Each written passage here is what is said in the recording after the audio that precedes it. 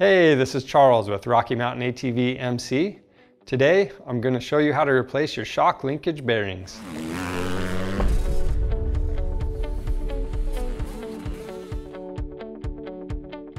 Checking for play in your bearings should be a part of your regular maintenance routine. Unfortunately, this is something that's often overlooked, but is really easy to do. Now these bearings wear out over time, so if you're to that point, we'll show you how to take care of them. Today we'll be focusing on the shock linkage bearings, but we have a how-to video for pretty much any bearing on your bike. So be sure to check that out.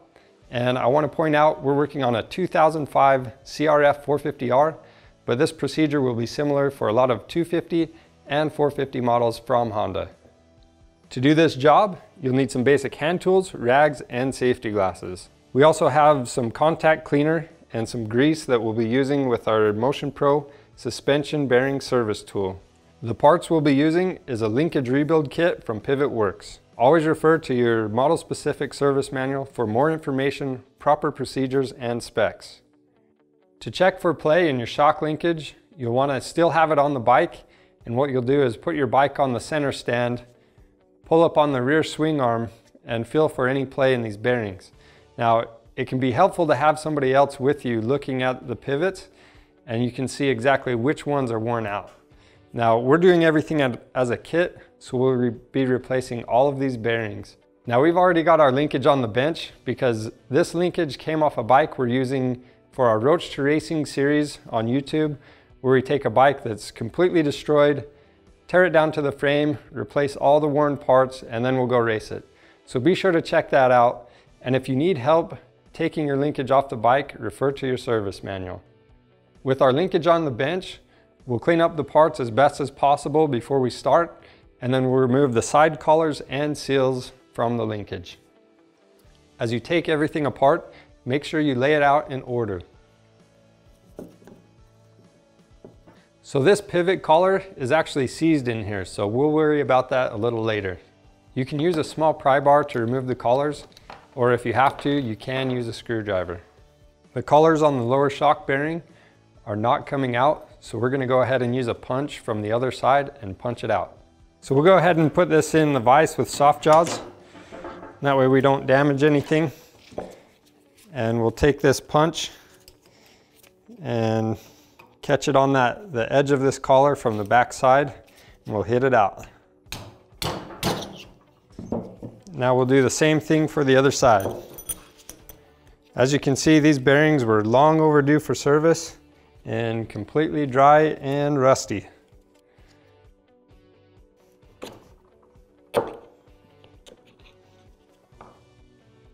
Dust seals? More like rust seals.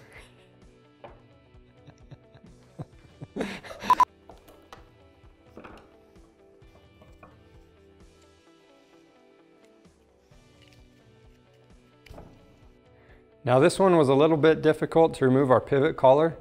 And if it is and doesn't want to come out, you can also use some penetrating oil on there and let that soak in to help free it up. That's exactly what we'll be doing on the shock arm.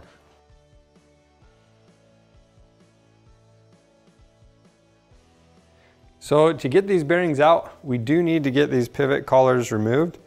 And to do that, we'll use a drift and a hammer and punch them out. And then we can use our Motion Pro tool to remove the bearings. Normally you would remove all these needle bearings at this time, but some of these are kind of stuck in there and we'll just let them come out as we pull them out. First, I'll show you how to remove this lower shock bearing with the socket and vise method, and then we'll show on these other two bearings how to use the Motion Pro tool.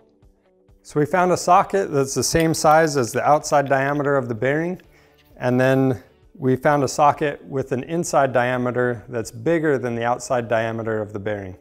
Now we'll put both of those together with our part. We'll put it in the vise, pull it together, and when you pull it together, the bearing will push out of the shock arm. To make this easier, we can apply some heat to the shock arm and that will help the bearing come out. If you are using heat on these parts to help remove them, Make sure the parts are cooled down before you remove them from the vise. We're just about out with the bearing, so we'll put a rag underneath the shock arm so the bearing and sockets don't fall on the floor.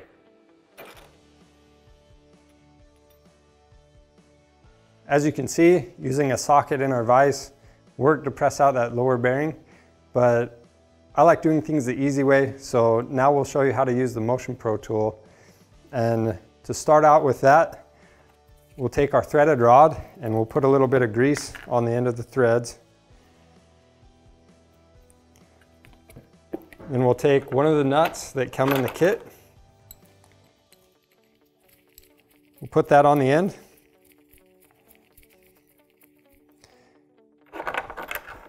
And then we'll take one of these washers and drop it down. Next we've got our bearing cup. So we'll put that on and we'll actually put this in the vise.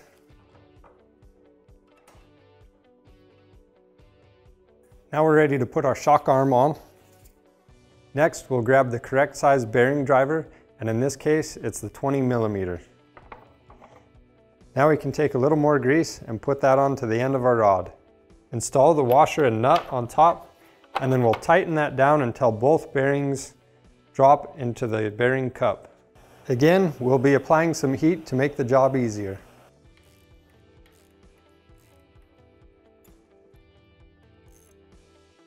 After that, we'll remove both bearings from the threaded rod, and then we'll do the same thing on our next bearing. When we took those last bearings out, it left a bunch of dirt and rust all over this threaded shaft. So it's important to clean all that stuff off so you don't ruin your tool. So we got, went ahead and did that and now we'll put some new grease and assemble everything the same way we did before. Again, we'll make sure everything's aligned before we start tightening.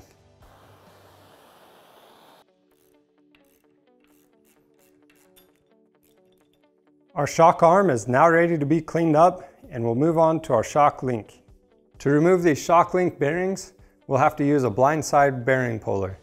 And to do that, the Motion Pro tool actually comes with that. So to hook it up, we'll start by tightening the blindside bearing puller to the bearing. And then we'll attach our adapter and thread our rod into it and we'll use our nut to pull the bearing out. And just like before, we'll add some grease to the threaded rod. To make this easier, we'll put the shock link into the vise with soft jaws.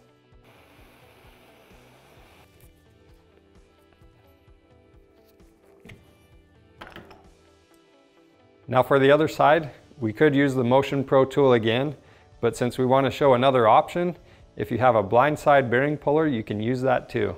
Now something I want to point out is that it's a good idea to leave these needle bearings inside the cage while you remove it from the shock link. Leaving these in will help support the cage and that way you'll get a good bite with your bearing puller. We don't really need to worry about our bearings coming out, they're rusted in place. But if your needle bearings fell out, it's a good idea to use some grease and stick them back in place and that will help with the removal process.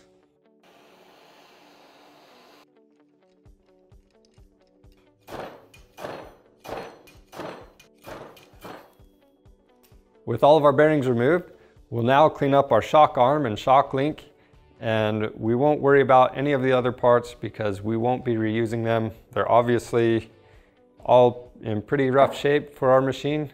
So we'll go ahead and get that cleaned up and show you how to put the new parts in. Since our bores were so rusty, we're using a little bit of Scotch-Brite to help clean them up. Now that we've cleaned our parts and inspected them for damage, We'll take our PivotWorks bearings and lay everything out in order and we'll show you how to install a couple bearings with our Motion Pro tool as well as with the vise. Keep in mind while you organize everything that the reason why we laid everything out in order when we took it apart is so we could reassemble in the exact same way.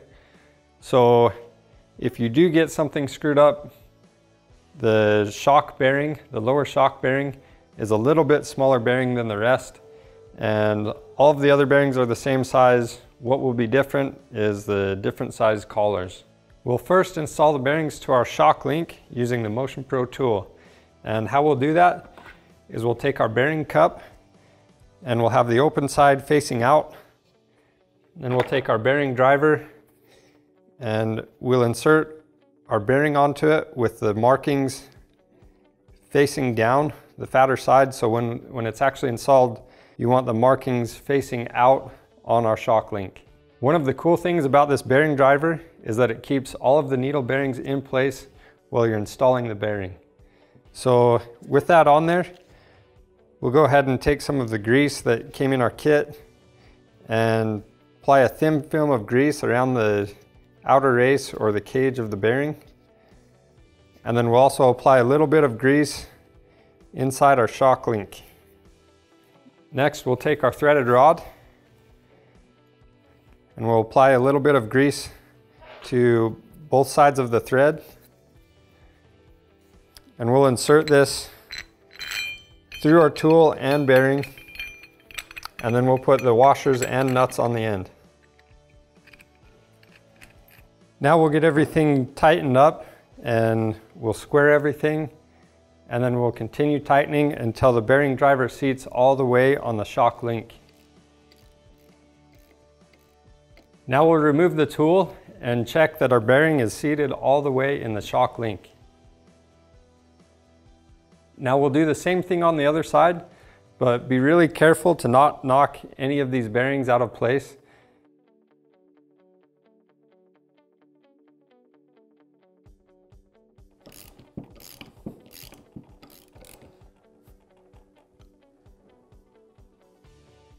With both bearings installed, we'll now double check to make sure all the needle bearings are in place and we'll grease those up, grease our pivot collar Install the seals with fresh grease on both sides of those. Install the seals with the manufacturer's mark facing out. To install the seals, we'll just use the back of the bearing cup. And we'll also grease up these new side collars and insert them. The first bearings we'll take care of on the shock arm are the swing arm side bearings. And we'll do that with our Motion Pro tool. Since we're still using the Motion Pro tool, We'll do the same procedures as we did with the shock link.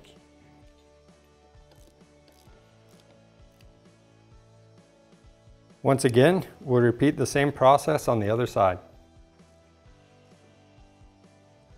Now we'll just grease these up and as well as the collar and slide it in. Again, we'll install our seals with the manufacturer's marks facing out and then install the side collars. Now for the shock link bearings, we'll show you how to use the sockets and the vise to install them.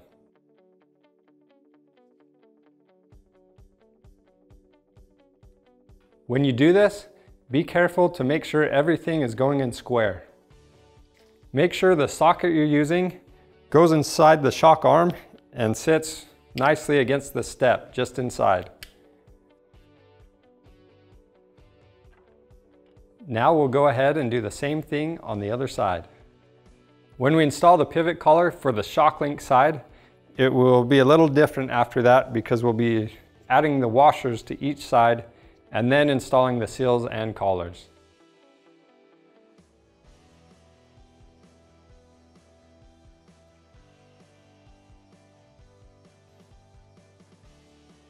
Now we'll go ahead and do the same thing on the other side. Now we're ready to install our lower shock bearing. And again, remember the lower shock bearing, all the parts will be different for this particular bearing. Again, go slow and make sure everything goes in square. With our bearing pretty close, we'll push it the rest of the way in with a socket and we'll want to center it in the shock arm.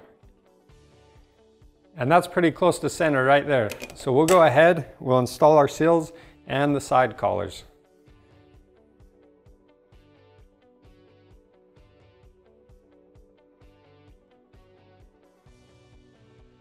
Don't forget to install the pivot collar before capping off the other end. And that's all there is to replacing your shock linkage bearings. As you can see, the Motion Pro tool makes this job a lot easier. Now, this tool, along with the bearing kit, are available on our website, along with just about anything you could want for your bike. So be sure to check that out. And if you like this video and want to see more like it, check out our YouTube channel and subscribe. Thanks for watching.